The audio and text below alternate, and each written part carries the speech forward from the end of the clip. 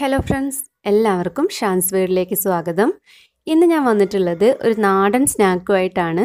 നമുക്ക് എല്ലാവർക്കും അറിയാം പണ്ടൊക്കെ കടകളിലൊക്കെ ചെറിയ ചെറിയ ഹോട്ടലുകളിലും കടകളിലൊക്കെ കുപ്പിയിലൊക്കെ ഇട്ട് വെച്ചിട്ടുണ്ടായിരുന്ന വെട്ടുകേക്കിന്റെ റെസിപ്പി ആയിട്ടാണ് ഇന്ന് ഞാൻ വന്നിട്ടുള്ളത്.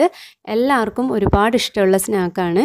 അതേ ടേസ്റ്റോട് കൂടി തന്നെ നമുക്ക് വീട്ടിൽ ഈസി ആയിട്ട് ഉണ്ടാക്കി എടുക്കാൻ പറ്റും അധികം ടൈമൊന്നും നമുക്കിത് ഉണ്ടാക്കാനായിട്ട് ആവശ്യമില്ല. ഒരു മണിക്കൂർ ഇതൊന്ന് റെസ്റ്റ് ചെയ്യാൻ വെക്കണം. ആ ഒരു ടൈം മാത്രമേ ഇതിന് ആവശ്യമുള്ളൂ. നമ്മുടെ കുട്ടികളൊക്കെ സ്കൂളൊക്കെ വിട്ട് വരുന്ന സമയത്ത് ഒരു നാല് മണി പലഹാരമായിട്ട് ഈസി ആയിട്ട് തയ്യാറാക്കി കൊടുക്കാൻ പറ്റിയൊരു കേക്കാണ് അപ്പോൾ നമുക്ക് എങ്ങനെയാണ് ഈ വെട്ട് കേക്ക് തയ്യാറാക്കുന്നതെന്ന് നോക്കാം. അതിന് മുമ്പായിട്ട് ആദ്യമായിട്ടാണ് നിങ്ങൾ എന്റെ ചാനൽ കാണുന്നതെങ്കിൽ ഉറപ്പായിട്ടും ഒന്ന് സബ്സ്ക്രൈബ് ചെയ്യുക. അതിന്റെ തൊട്ടടുത്തുള്ള ആ ബെല്ലൈക്കൺ ഒന്ന് പ്രസ് ചെയ്യുകയാണെങ്കിൽ അതിൽ മൂന്ന് ഓപ്ഷൻസ് കാണാം. അതിൽ ഓൾ എന്ന ഓപ്ഷൻ സെലക്ട് ചെയ്താൽ ഞാൻ അപ്ലോഡ് ചെയ്യുന്ന വീഡിയോസിന്റെ നോട്ടിഫിക്കേഷനൊക്കെ നിങ്ങൾക്ക് ഫോണിലേക്ക് വരുന്നതാണ്. അപ്പോൾ നിങ്ങൾക്കത് മിസ് ചെയ്യാതെ കാണാം. അപ്പോൾ നമുക്ക് വീഡിയോയിലേക്ക് അടക്കാം അപ്പോൾ വെട്ടുകേക്ക് റെഡിയാക്കാനായിട്ട് ഞാനിവിടെ ഒരു ബൗളിലേക്ക് ഒന്നര കപ്പ് മൈദ എടുത്തിട്ടുണ്ട്. രണ്ട് മുട്ട വെച്ചിട്ടാണ് നമ്മൾ ചെയ്യുന്നത്. അപ്പോൾ അതിലേക്ക് ഒന്നര കപ്പ് മൈദയാണ് നമുക്ക് ആവശ്യമുള്ളത്. ഇനി നമുക്കതിലേക്ക് ഒരു കാൽ കപ്പ് റവ ചേർത്ത് കൊടുക്കാം. റവ മസ്റ്റായിട്ടും ചേർത്ത് കൊടുക്കണം. കാരണം ഇതിലൊരു പ്രധാന ഇൻഗ്രീഡിയന്റ് തന്നെയാണ് റവ. അത് ചേർത്ത് കൊടുത്താലേ വെട്ടുകേക്കിന്റെ ആ, അതേ ടേസ്റ്റ് നമുക്ക് കിട്ടുള്ളൂ. ഇനി ഇതിലേക്ക് ഒരു കാൽ ടീസ്പൂൺ അപ്പക്കാരം ചേർത്ത് കൊടുക്കാം. അപ്പക്കാരം അപ്പസോഡ ബേക്കിംഗ് സോഡ ഇതൊക്കെ ഒന്ന് തന്നെയാണ്. ബേക്കിംഗ് പൗഡർ അല്ല ബേക്കിംഗ് സോഡയാണ് യൂസ് ചെയ്യുന്നത്. ഇനി എല്ലാം കൂടെ നന്നായിട്ടൊന്ന് മിക്സ് ചെയ്തെടുക്കുക. ഇതുപോലെ ഒരു വിസ്കോ ഫോർക്കോ സ്പൂണോ വെച്ചിട്ടൊന്ന് മിക്സ് ചെയ്തെടുത്താൽ മതി. ഇനി നമുക്ക് മുട്ടയൊന്ന് അടിച്ചെടുക്കാം. അതിനായിട്ട് ഒരു ക്ലീൻ ആയിട്ടുള്ള മിക്സിയുടെ ജാർ എടുക്കുക. ഒട്ടും വെള്ളത്തിന്റെ അംശമൊന്നും അതിലുണ്ടാവാൻ പാടില്ല. വെള്ളത്തിന്റെ അംശം ഉണ്ടായാൽ നമുക്ക് കറക്റ്റായിട്ട് കിട്ടില്ല. എന്നിട്ട് അതിലേക്ക് ഒരു രണ്ട് മുട്ട പൊട്ടിച്ചൊഴിച്ചു കൊടുക്കാം. ഇനി ഇതിലേക്ക് അരക്കപ്പ് കപ്പ് പഞ്ചസാര കൂടെ ചേർത്ത് കൊടുക്കാം. ഇനി നമ്മളിതിനൊരു ഫ്ലേവർ കൊടുക്കാൻ വേണ്ടിയിട്ട് ഏലക്കായയാണ് ചേർത്ത് കൊടുക്കുന്നത്. അപ്പോൾ ഒരു രണ്ട് ഏലക്കായ ഇതിലേക്ക് ചേർത്ത് കൊടുക്കാം. ഞാനിപ്പോൾ ഇവിടെ കാർഡമൺ എസൻസ് കയ്യിലുണ്ട്. അതാണ് ഒരു രണ്ട് ഡ്രോപ്പ് ചേർത്ത് കൊടുക്കുന്നത്. അപ്പോൾ ഈ എസൻസിനേക്കാളും കുറച്ചും കൂടി ടേസ്റ്റ് ഏലക്കായ ചേർത്ത് കൊടുക്കുമ്പോഴാണ്. ഇതിപ്പോൾ ഞാൻ കയ്യിലുണ്ടായതുകൊണ്ട് ചേർത്ത് കൊടുത്തതാണ്. പക്ഷേ ഇതിനേക്കാളും ടേസ്റ്റ് ഏലക്കായയാണ്. അപ്പോൾ നിങ്ങൾ ഉണ്ടാക്കുന്ന സമയത്ത് ഏലക്കായ തന്നെ ചേർത്ത് കൊടുക്കുക. ഇനി ഇതിന് നല്ലൊരു കളർ കിട്ടാൻ വേണ്ടിയിട്ട് ഒരു നുള്ളും മഞ്ഞൾപ്പൊടി കൂടിയും ചേർത്ത് കൊടുക്കാം. എന്നിട്ടിത് നന്നായിട്ടൊന്ന് അടിച്ചെടുക്കുക. അപ്പോൾ ഇത് നന്നായിട്ട് അടിച്ചെടുത്തിട്ടുണ്ട്. ഇനി നമുക്ക് മാവ് റെഡിയാക്കി തുടങ്ങാം. അപ്പോൾ നമ്മൾ നേരത്തെ മിക്സ് ചെയ്ത് മാറ്റി വെച്ച മൈദയുടെ കൂട്ടിലേക്ക് കുറച്ച് വീതം ഈ മുട്ടയുടെ കൂട്ട് ഒഴിച്ച് കൊടുത്തിട്ട് മിക്സ് ചെയ്തെടുക്കുകയാണ് ചെയ്യുന്നത്. അപ്പോൾ അതിന് മുമ്പായിട്ട് നമ്മൾ മാവൊക്കെ റെഡിയാക്കി എടുത്ത സമയത്ത് നമ്മൾ അതിലേക്ക് ഉപ്പ് ചേർത്ത് കൊടുക്കാൻ വിട്ടുപോയിട്ടുണ്ടായിരുന്നു. അപ്പോൾ കുറച്ച് ഉപ്പും കൂടെ ചേർത്ത് കൊടുത്തിട്ട് ഇത് നന്നായിട്ടൊന്ന് മിക്സ് ചെയ്തെടുക്കുക. ഇനി നമ്മൾ റെഡിയാക്കി വെച്ച മുട്ടയുടെ കൂട്ട് കുറച്ച് വീതം ഒഴിച്ചു കൊടുത്തിട്ട് നന്നായിട്ടൊന്ന് കുഴച്ചെടുക്കുക. നമ്മുടെ ഒന്നര കപ്പ് മൈദ ഈ രണ്ട് മുട്ടയ്ക്ക് കറക്റ്റ് ആയിരിക്കും. എങ്ങാനും നമ്മൾ ചെയ്യുമ്പോൾ കുറച്ച് ലൂസായി പോവുകയാണെന്ന് തോന്നുന്നു തോന്നുന്നുണ്ടെങ്കിൽ മാത്രം ഒരു ടീസ്പൂൺ മൈദ കൂടെ ഇട്ട് കൊടുത്തിട്ട് അതൊന്ന് അഡ്ജസ്റ്റ് ചെയ്തെടുക്കുക. അങ്ങനെ നമുക്ക് അഡ്ജസ്റ്റ് ചെയ്തത് നന്നായിട്ടൊന്ന് കുഴച്ചെടുക്കാം. നമ്മൾ ചപ്പാത്തി മാവൊക്കെ കുഴക്കുന്ന ആ ഒരു രൂപത്തിൽ വേണം ഇത് കുഴച്ചെടുക്കാൻ അപ്പോൾ നമ്മൾ ബാക്കിയുള്ള മുട്ടയുടെ കൂട്ടും കൂടി ഇതിലേക്ക് ഒഴിച്ച് കൊടുത്തിട്ട് നന്നായിട്ടൊന്ന് കുഴച്ചെടുക്കാം.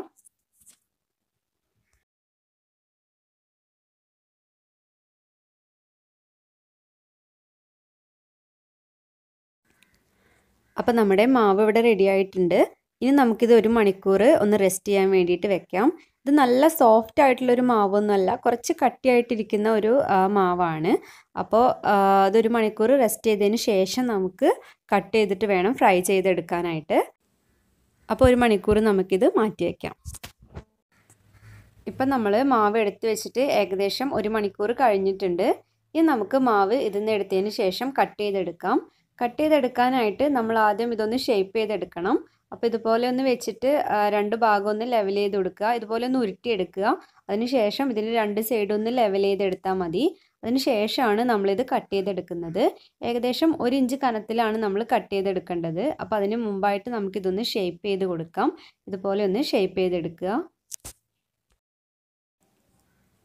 ആദ്യം നമുക്കിതിന്ന് ഒരു പീസ് കട്ട് ചെയ്തൊന്ന് മാറ്റി വെക്കാം. ആ, ഇനി ഈ പീസ് കറക്റ്റായിട്ട് നമ്മളൊന്ന് ഷേപ്പ് ചെയ്തതിന് ശേഷം ഓരോ ഓരോ ഇഞ്ച് കനത്തിൽ നമുക്കൊന്ന് കട്ട് ചെയ്തെടുക്കാം.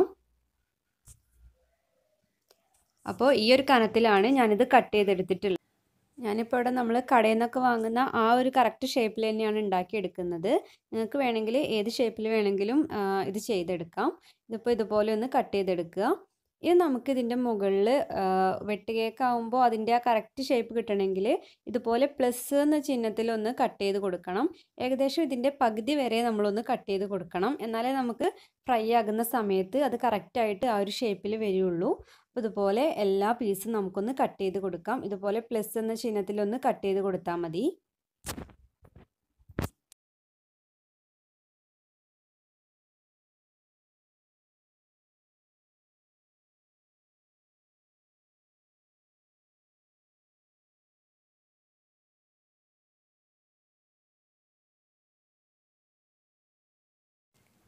അപ്പോൾ എല്ലാ പീസസും ഞാൻ ഇതുപോലെ കട്ട് ചെയ്തെടുത്തിട്ടുണ്ട്. ഒരു കപ്പ് വെച്ചിട്ട് ഏകദേശം പതിനൊന്ന് എണ്ണമാണ് ഞാനിവിടെ ഉണ്ടാക്കിയെടുത്തിട്ടുള്ളത്. അപ്പോൾ എല്ലാം ഇതുപോലെ കട്ട് ചെയ്ത് വെച്ചിട്ടുണ്ട്. ഇനി നമുക്ക് ഫ്രൈ ചെയ്തെടുക്കാം. അതിനായിട്ട് ഈ ഒരു സമയത്ത് തന്നെ നമ്മൾ കുറച്ച് ഓയിൽ ഒരു ചട്ടിയിലൊന്ന് ചൂടാക്കാൻ വേണ്ടിയിട്ട് വെക്കുക. നമ്മൾ നന്നായിട്ട് ചൂടായ ഓയിലിലേക്ക് വേണം ഇത് ചേർത്ത് കൊടുക്കാൻ എന്നാലേ നമുക്ക് നന്നായിട്ട് ഫ്രൈ ആയി കിട്ടുള്ളൂ. ഓയിൽ ഇപ്പോൾ ഇവിടെ നന്നായിട്ട് ചൂടായിട്ടുണ്ട്. ഇനി നമുക്ക് ഫ്രൈ ചെയ്തെടുക്കാം. അപ്പോൾ നമ്മൾ ഒരു കാര്യം ശ്രദ്ധിക്കുക. ഓയിൽ നന്നായിട്ട് ചൂടായതിന് ശേഷം നമ്മൾ തീ കുറച്ച് ലോ ഫ്ലെയിമിലേക്ക് ഇട്ട് കൊടുക്കണം. അതിന് ശേഷം നമ്മളിതിലേക്ക് ഓരോന്ന് ആഡ് ചെയ്യാൻ പാടുള്ളൂ. അല്ലെങ്കിൽ ഇത് പെട്ടെന്ന് കരിഞ്ഞു പോവും. ഇത് കുറച്ച് കട്ടിയിലിരിക്കുന്നതുകൊണ്ട് ഇതിന്റെ ഉള്ളൊക്കെ നന്നായിട്ട് വെന്ത് വരണമെങ്കിൽ നമ്മൾ ഏറ്റവും ലോ ഫ്ലെയിമിൽ ഇട്ടിട്ട് വേണം ഇത് വേവിച്ചെടുക്കാൻ. കുറച്ച് ടൈം ടൈം എടുത്ത് വേവിച്ചെടുക്കണം. ചൂടായ എണ്ണയിൽ ഇടുകയാണെങ്കിൽ പുറം ഭാഗം പെട്ടെന്ന് ക്രിസ്പി ആവുകയും ചെയ്യും. ഉള്ള് വേവാതിരിക്കുകയും ചെയ്യും. അപ്പോൾ അതുകൊണ്ട് ലോ ഫ്ലെയിമിലിട്ടതിന് ശേഷം കുറച്ച് ടൈം എടുത്ത് വേവിച്ചെടുക്കുക. അപ്പോൾ നമുക്ക് കറക്റ്റായിട്ട് ഫ്രൈ ആയിട്ട് കിട്ടും. അപ്പോൾ നമ്മുടെ വെട്ടുകേക്ക് ഇവിടെ റെഡി ആയിട്ടുണ്ട്. നല്ലോണം ഫ്രൈ ആയി വന്നിട്ടുണ്ട്. ഈ ഒരു കളറായി കഴിഞ്ഞാൽ നമുക്കിത് കോരിയെടുക്കാം. ഒരു പാത്രത്തിലേക്ക് മാറ്റി കൊടുക്കാം ഇതുപോലെ തന്നെ ബാക്കിയുള്ള കേക്കുകളും നമുക്ക് നന്നായിട്ടൊന്ന് ഫ്രൈ ചെയ്തെടുക്കാം.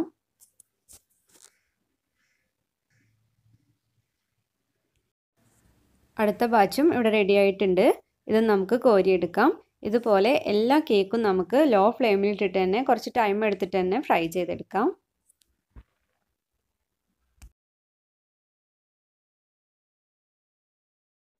അപ്പോൾ ഇതാ വളരെ ഈസി ആയിട്ട് പെട്ടെന്ന് റെഡിയാക്കാവുന്ന വെട്ട് കേക്ക് ഇവിടെ റെഡി ആയിട്ടുണ്ട്. നമുക്ക് പണ്ടൊക്കെ കിട്ടുന്ന ആ ഒരു ടേസ്റ്റ് തന്നെയാണ് ഈ ഒരു വെട്ട് കേക്ക് തയ്യാറാക്കിയിട്ടുള്ളത്. ഈ ഒരു മെഷർമെന്റിൽ ഇതുപോലെ തന്നെ എല്ലാവരും ഒന്ന് ട്രൈ ചെയ്ത് നോക്കുക. ഈസി ആയിട്ട് നമുക്ക് മക്കൾക്കൊക്കെ ഉണ്ടാക്കി കൊടുക്കാം. നല്ല ടേസ്റ്റിയാണ് എല്ലാവർക്കും ഇഷ്ടമാകും നമ്മൾ പണ്ടൊക്കെ കടയിൽ നിന്ന് വാങ്ങിച്ചിരുന്ന ആ സെയിം ടേസ്റ്റിലും കാണാനും അതുപോലെ തന്നെ നമുക്ക് ഉണ്ടാക്കിയെടുക്കാം. അപ്പോൾ എല്ലാവരും ഇതൊന്ന് ട്രൈ ചെയ്ത് നോക്കണം. നല്ല ടേസ്റ്റിയാണ് ഈസി ആയിട്ട് ഉണ്ടാക്കാവുന്ന ഒരു നാലുമണി പലഹാരമാണ്. അപ്പോൾ എല്ലാവരും ട്രൈ ചെയ്തിട്ട് ഫീഡ്ബാക്സ് ഒക്കെ ഒന്ന് അറിയിക്കുക. നിങ്ങൾക്ക് ഈ വീഡിയോ ഇഷ്ടമായെന്ന് വിചാരിക്കുന്നു. അപ്പോൾ സബ്സ്ക്രൈബ് ചെയ്യാനും ഷെയർ ചെയ്യാനും ലൈക്ക് ചെയ്യാനും കമന്റ് ചെയ്യാനും ഒന്നും മറക്കരുത്. എല്ലാവരും സപ്പോർട്ട് ചെയ്യണം.